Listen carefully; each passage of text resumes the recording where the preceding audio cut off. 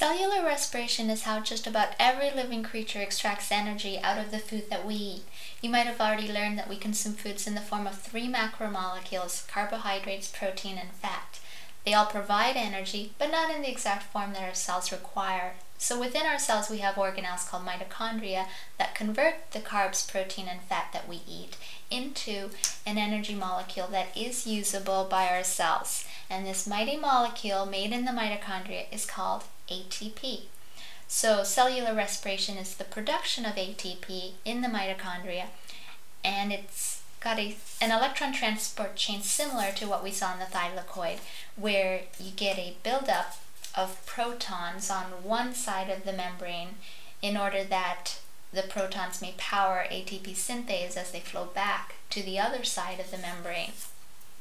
Cellular respiration is sometimes referred to as oxidative phosphorylation because the phosphorylation of ADP to make ATP is driven by the oxidative power of oxygen, unlike photophosphorylation in photosynthesis, which is driven by the power of photons, light energy. Photosynthesis is a way for plants to store energy in the form of starch Cellular respiration is a way for our cells to extract that stored energy. So as you would expect, the chemical equation is the reverse of photosynthesis, except that the energy going into photosynthesis is light energy and the energy coming out of cellular respiration is chemical energy in the form of ATP. In the photosynthesis equation, I had a lightning bolt representing an input of light energy into the equation, but we'll have an output of energy in cellular respiration. So instead of an input of photons, we'll have an output of ATP. And sometimes you'll see it on that side of the equation in brackets. Sometimes you'll see plus energy over there, just like you might see light energy on this side of the equation if it were photosynthesis. And of course, the products and reactants would be reversed in photosynthesis. Now you might be wondering and asking yourself, if this is a sugar molecule and you understand that complex carbs can be broken down into simple sugar molecules, how are protein and fat factored into this equation? And if you're asking that, I would say, first of all, that's a very keen observation. And the answer is simply that fats and protein can also be broken down into simple sugar molecules. And since the first stage in cellular respiration is the breaking down of sugar through glycolysis, Fats and protein can simply skip this first step and enter the next step, which is the Krebs cycle. And the last step is the electron transport chain. So, there are three main stages in cellular respiration. Starts with glycolysis, then you have the Krebs cycle, and last is the electron transport chain, which ends with ATP synthase making ATP because that's the whole purpose, right? To make this little energy molecule for the cell to use.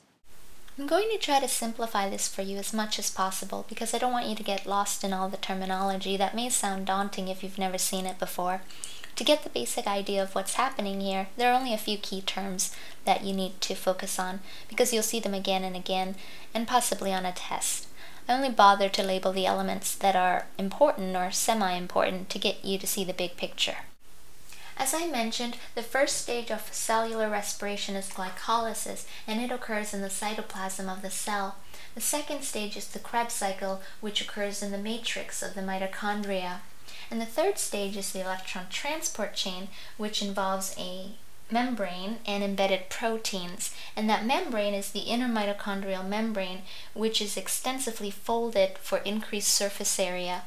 Remember, the mitochondria has an outer membrane and an inner membrane, and the matrix is all of this fluid within the inner membrane where the Krebs cycle occurs. Glycolysis is just the splitting of a glucose molecule, which is a six carbon molecule that gets split into two three carbon molecules called pyruvate. In the presence of oxygen, pyruvate enters the mitochondrial matrix and is oxidized to this two carbon compound that binds with coenzyme A to form acetyl CoA, which then enters the Krebs cycle. Passing along these two carbons, to oxaloacetate to form the six carbon molecule citrate.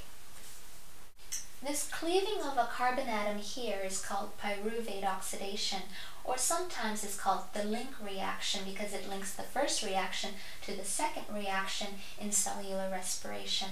In eukaryotic cells, the link reaction occurs in the matrix, but for prokaryotes that undergo aerobic respiration, both the Krebs cycle and pyruvate oxidation take place in the cytoplasm because prokaryotes don't have mitochondria. The Krebs cycle is sometimes referred to as the citric acid cycle because that's the first product of the cycle. And it's also called the tricarboxylic acid cycle or TCA cycle because citric acid is a tricarboxylic acid. Sometimes you'll see citrate and sometimes you'll see citric acid. When it's an acid, it just signifies that it's dissolved in a solution, so your ions are floating around in a liquid. Same as pyruvate and pyruvic acid. One is just solid form and one is liquid. It's the same compound really. In the Krebs cycle, we lost two carbons as carbon dioxide here and here, so that we ended up with four carbons at the end again. And we also lost a carbon here during pyruvate oxidation.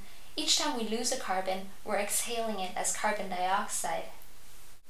The Krebs cycle produces NADH one, two, three times, and one FADH2 molecule per turn of the cycle, also one GTP, which is easily converted to an ATP, so it's considered an ATP equivalent.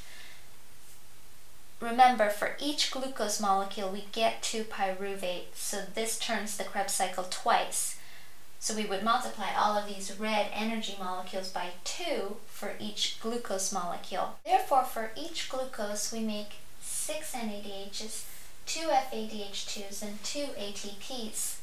So for counting ATPs, I didn't really have room to show here, but glycolysis netted two ATPs. Four were produced, but two were used up, so that's a net of two ATPs made in glycolysis. And plus the two ATPs from the Krebs cycle gives us a total of four ATPs so far from the first two stages of cellular respiration. And if we're keeping track of NADHs, we have 3 times 2 is 6 from the Krebs cycle, plus an NADH was made for each pyruvate oxidation. So that's 2 plus 6 is 8, and 2 NADHs were made in glycolysis, making it 10. 10 NADHs, and we only make just two FADH2s from the Krebs cycle. All of the NADHs and FADH2s we've made will go into the electron transport chain to be converted into more ATPs. What that translates into is from these 10 NADHs we would get 30 ATPs coming out of the electron transport chain. And with these two FADHs we would get four more ATPs coming out that makes 4 plus 30 plus 4 gives us 38 total ATPs after all is said and done from one glucose molecule. Keep in mind that this is only in the most efficient cell under the most ideal circumstance, so that 38 is kind of a theoretical number. In reality, that number is closer to 30. Now we'll zoom in on the mitochondrial inner membrane, the third and last stage of cellular respiration. The electron transport chain in the mitochondria has four complexes, coupled with ATP synthase. These complexes are responsible for creating this proton gradient that concentrates protons outside of the matrix. And ATP synthase is the enzyme that allows them to flow back in, producing ATP in the process. With the energy from the proton flow. For each NADH molecule, complex 1 and complex 3 will pump out 4 protons each, while complex 4 only pumps out 2 protons for each NADH molecule. Complex 2 is not a proton pump, but it is where FADH2 enters the electron transport chain, and because it skips complex 1, FADH2 pumps out less protons than NADH it only pumps out six total, four here and two here, so it yields less energy than NADH. These complexes, 1, 2, 3, and 4, are all immobile. They're embedded in the membrane and don't move around like coenzyme Q and cytochrome C, which are mobile electron carriers. They all accept and transfer electrons along the electron transport chain. Cytochrome C transfers from complex 3 to complex 4, and coenzyme Q shuttles electrons from complex 1 to 3, or from complex 2 to 3. Notice the electrons don't travel from 1 to 2 to 3. It's either 1 to 3 or 2 to 3.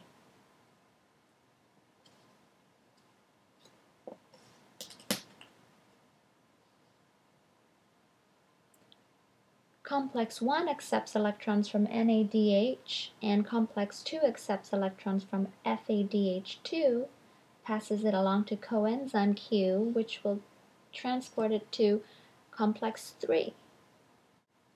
Complex 2, succinate dehydrogenase, is the only enzyme that's found both in the Krebs cycle and the electron transport chain, in the matrix and in the inner membrane. These two donated electrons will travel along the electron transport chain, reach another mobile electron carrier here, and then end up on oxygen. The electron transport chain in the mitochondria is the reason we breathe oxygen because oxygen is the final electron acceptor it accepts the two electrons. And also two protons.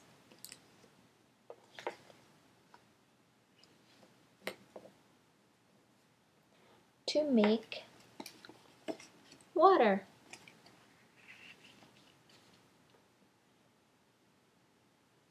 which is one of the end products of cellular respiration.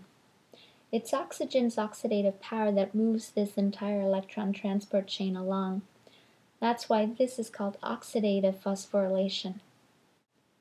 In biology, when we talk about oxidation, we usually mean gaining or losing a hydrogen or oxygen because electrons don't just float around by themselves in biological systems. Electrons are attached to a molecular atom, so when something gets reduced, often that means it's gained a hydrogen, which is like gaining an electron because hydrogen will allow whatever it's bonded to to hog its electron. Here, oxygen is reduced.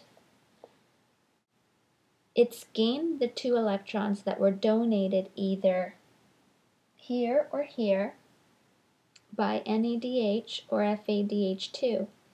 It's gained two protons as well, but oxygen gets to hog the electrons, so in effect it's being reduced.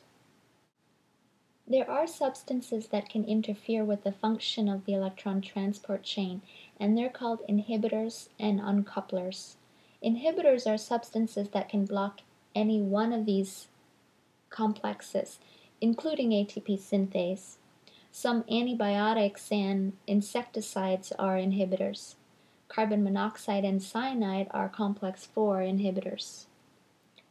Uncouplers are agents that uncouple the electron transport chain from the phosphorylation of ADP, meaning that uncouplers don't allow ATP synthase to operate because they destroy the proton gradient by making the entire inner membrane permeable to protons, allowing them to flow through so there is no more stored up energy outside of the matrix. It all dissipates and the proton gradient collapses. And ATP can no longer be made because there is no more flow of protons to fuel ATP synthase. You can imagine that doing this to such an essential, fundamental biological mechanism could be a very dangerous thing, and it is. For example, some uncouplers are promoted as weight loss drugs because they make you burn and lose all this stored energy, right? But these drugs are also very lethal because they cause rapid heart rate, excessive sweating, and fatally high body temperatures. Suffice it to say, messing with cellular respiration is, is risky business. With that in mind, there are naturally occurring uncouplers that don't make the whole membrane permeable but rather allow protons to pass through selective proton channels, which is to say that it's much more regulated and controlled homeostatically. And examples of natural uncouplers are found in brown adipose tissues, specialized fat cells, in hibernating animals and newborn babies for the purpose of generating heat. These brown fat cells oxidize their fat stores rapidly to produce more heat than ATP. Again, this is a highly controlled and regulated process, a very different case and mechanism from artificial uncouplers. And that's it for cellular respiration. I hope it was a clear explanation for you. You may want to review parts of this video, and that's quite alright. It took me a while to sort it all out, knowing what went in, what came out of each of the stages. That's what I would focus on. And also where in the cell each stage occurs. There's a written summary of all of that down below, which I hope helps you, and I'll see you next time.